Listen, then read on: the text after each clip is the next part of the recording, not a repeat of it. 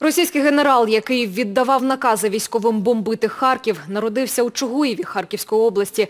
Йдеться про Олега Маковецького, повідомила генеральний прокурор Ірина Венедіктова. Прізвище генерала назвав на допиті пілот ворожого винищувача. Розповів, що саме Маковецький наказав бомбити Харків та навколо нього мирне населення.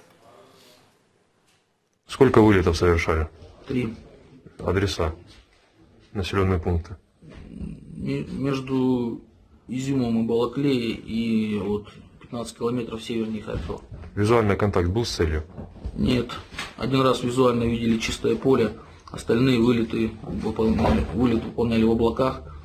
И сегодня, точнее вчера, вчера, полет был ночью, только лесной массив видел.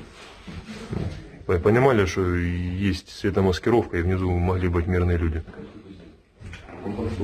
Я работаю по координатам, которые мне выдают в виде приказа.